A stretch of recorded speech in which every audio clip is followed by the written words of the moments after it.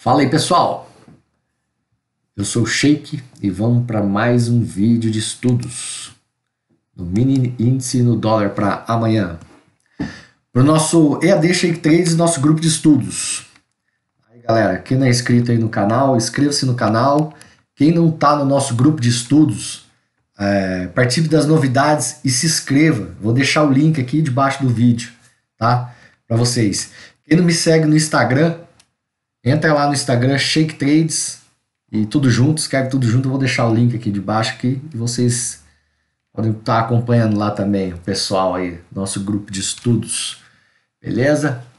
E outra coisa, vou deixar aqui para o iniciante do canal é, uma playlist de vídeos aí para estar tá acompanhando, para vocês estarem aprendendo um pouquinho do price action, beleza? Vamos começar aqui no mini índice.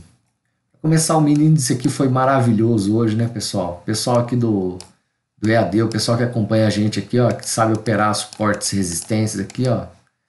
Na dor de braçada hoje aqui, na dor de braçada, braçada, pegou tudo, pegou o primeiro movimento, pegou o rompimentão até o final, na linha das meninas que a gente estava falando no EAD.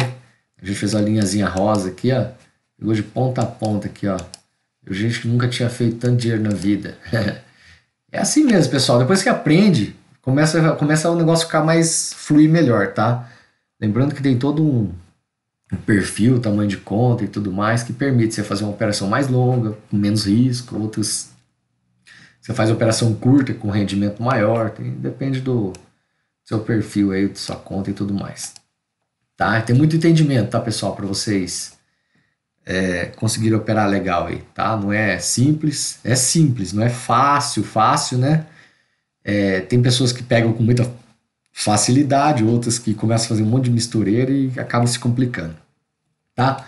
Mas pulando esse converseiro todo, vamos pro, pro nosso estudo para amanhã aqui, tá? No mini índice aqui, ó, o que, que a gente tem para amanhã? A gente pode acompanhar o mini índice aqui, ó, se ele romper, romper e vir testar a linha de tendência ou abrir aqui, ó, ele pode vir aqui buscar esse ponto, não romper, testar esse fundo embora, tá? Vim buscar esse ponto, até esse ponto, até esse ponto e descer, tá? Rompendo a linha de tendência aqui, tá? Ele pode romper, rompendo esse ponto aqui, ele pode atingir esse ponto e seguir, lateralizar aqui, aqui a gente tem uma, aqui a gente tem uma zona de proteção aqui ó, nesse ponto, ó. Nesse ponto aqui a gente tem uma zona de proteção de preço, tá? E, e se ele, ele, rompendo aqui, a gente, ele vai embora, ele pode, pode ir embora, ou não vencer esse ponto e novamente voltar para esse ponto, buscando aqui novamente. Estou nessa linha aqui, beleza? É uma das possibilidades para amanhã, tá? É, rompendo esse ponto aqui, ó, rompendo esse, esse, essa linha de tendência aqui, ó, tá? Por quê? Ele está consolidadinho aqui, tá? Deu uma, deu uma subida boa, já está rompendo o fundo aqui atrás, então ele pode vir aqui também, tá? Buscar esse 50%. Até, desde, até hoje, se assim, eu achei que ele estava vindo forte aqui, ele poderia romper aqui, descer esse ponto. Tá? Mas ele deu essa segurada aqui, fez essa, esse tipo de acumulação aqui, esse tipo de padrão gráfico aqui que pode dar, e abrindo, abrindo acima aqui, ó, ele pode abrir aqui, né? Abrindo acima desse ponto, pode abrir buscando esse alvo aqui para começar e vir buscar para baixo e seguir seguir a tendência de alta, a, essa linha de tendência seguir a tendência de alta aí, beleza? É uma das possibilidades para amanhã, tá? Ou, ou a gente segue, a gente não escolhe muito, né? Segue a tendência que ele escolher aqui, beleza? E vem buscar, isso aqui é só um pullback, tá? Lembrando que até esse ponto aqui seria só um pullback do preço, Tá? Lembrando que se ele escolher aqui, ó, a gente escolher ele para esse lado, que o preço escolher para esse lado, até aqui é só um pullback do preço, apesar de ser um movimento longo, grande, é simplesmente um pullback do preço. Há dois vídeos atrás de estudos aí, eu, eu falei para vocês se prepararem para movimentos longos, e vocês estavam com movimentos curtos, e aí dois dias seguidos aí com movimentos longos, bons, e rentabilizando, rentabilizando bastante, tá? O mercado ficou volátil, ficou bom, bom de fazer dinheiro com ele tá? Então é isso que a gente tem para o mini índice. Vou passar aqui os pontos principais aqui que eu tenho dele, tá? Para vocês. É... o 80715, 80454, 80321, 80147 79974 79797 é, 79583 79359 79236 79065 passar o ponto aqui que pode até ele pode ele pode vir fazer o pullback. 78355 caso ele rompa né esse ponto e, e rompa esse topo aqui depois de romper voltar e seguir ele pode vir é uma sexta-feira ah, não tem nada a ver sexta-feira para a gente trabalha normal é 81104 81346 81541 81744, tá? Uma resistência forte aqui no 82366. É, mas é, mas será que ele anda forte assim? Será que precisa marcar todos, todos, todos esses pontos? É final de mês, né? Final de mês geralmente o preço consegue, começa a ficar bem andando bem rápido, assim, tá? É, a gente observa que sempre ele anda bem, fim de mês. Às vezes meio de mês você tá meio acostumado, o negócio não vai, anda meio de lado, dá ruim. E de repente ele dá esses. Não é sempre, não é todo fim de mês, mas é, pela posição que ele está no gráfico assim, é o que a gente vê para esse, esse movimento. Agora vamos dar uma olhada aqui no, no dólar, tá? No dólar é o seguinte, pessoal. Ele tá nessa alta forte e pode continuar, tá? E pode continuar buscando até esse ponto aqui, ó. Pode abrir forte aqui para cima, aqui, ó. Pode abrir dando um, um forte aqui para cima. Abrindo aqui, ó. Testando esse ponto aqui, ó. E subindo aqui, ó. Ele pode vir até esse ponto ou mais, tá? Esse ponto ou mais.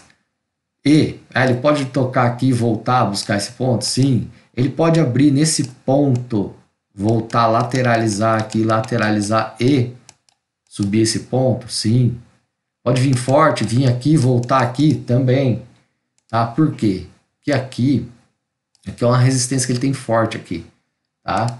Ele vai encontrar uma resistência forte. Então a gente não sabe se ele vai repicar aqui, se ele vai repicar, voltar nesse ponto aqui, que é um gatilho para dar uma ignição na operação, se ele vai romper aqui para cima e continuar a tendência, tá? Porque ele pode vir aqui, não romper, não romper essa linha, não romper essa linha e continuar a tendência para forte aqui para cima aqui, tá? Chegar nesse ponto, às vezes ele dá uma lateralizada e volta a buscar esse ponto, ou continuar a tendência de alta, ou continuar a tendência de alta, até o, esse ponto aqui, tá? Não sei se ele faz isso amanhã, tá? Mas é uma das possibilidades. Nesse ponto aqui ele pode acumular, ele querer acumular aqui nesse ponto aqui, tá? Ele acumular nesse ponto, vim buscar esse ponto. Ultrapassando esse ponto, ele tem esse alvo, tá? Ultrapassando esse ponto, ele tem esse alvo aqui, tá? Ele não pode perder isso aqui. Perdendo isso aqui, ele volta novamente buscar esse ponto, tá? Ah, mas então ele pode fazer qualquer coisa. Eu estou dando a noção de movimentações para vocês, tá? A partir do momento onde ele abre aqui, a gente já sabe mais ou menos o que dá para fazer. Então, como a gente não sabe se ele vai abrir guepando aqui para cima e seguir nessa tendência, ou se ele vai lateralizar amanhã, acumular, vir buscar aqui, subir novamente. Às vezes ele faz um topo duplo aqui, ó. Às vezes ele acumula aqui, ó. Ele acumula aqui, testa aqui, acumula aqui, ó, faz um topinho duplo aqui e vem buscar esse ponto e novamente volta a buscar e fazer um topo duplo para depois vir novamente testar esse ponto. Ele pode fazer isso aí, tá? Então é essa é mais ou menos nesses pontos que a gente vai trabalhar com ele, tá? A gente, onde ele abre, a gente, a gente tem nossa estratégia para operacionalizar ele. Tá? Vou passar os pontos aqui para vocês. É, desde o do ponto lá em, lá em cima do final. 3793, 3770, 3759,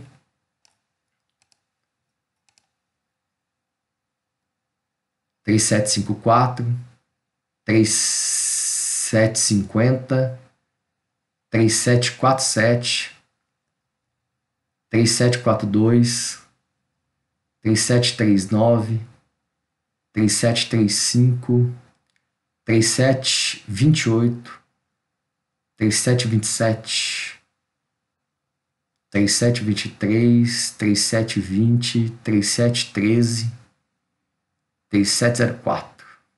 Beleza, até esse ponto aqui. Por que que o questionamento, ah, por que tão longe e tal? A gente não sabe, né, pessoal? Isso daqui ele pode abrir, ele pode abrir até bem nesse ponto aqui, ó. Não é nem aqui, ele pode abrir um lugar bem, bem forte aqui, ó, inclusive. Tá? E vir buscar esse ponto, tá?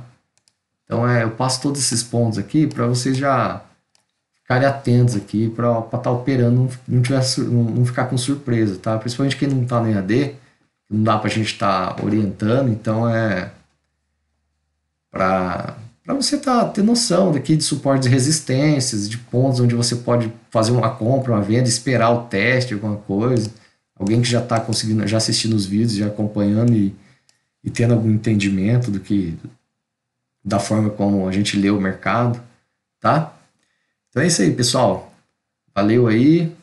Deixe seu like, ajude o crescimento do canal e ajude mais pessoas aí a principalmente pessoas que não têm condição de de estar tá fazendo um treinamento, alguma coisa, tá, a tá aprendendo alguma coisa do mercado, compartilhe com os amigos, para as pessoas estarem entendendo o que é o mercado e que dá para dá para você sabendo o que você está vendo aqui, de uma forma simples assim, você consegue consegue às vezes pegar um pedacinho desse mercado e, e fazer um, e render, fazer render para você.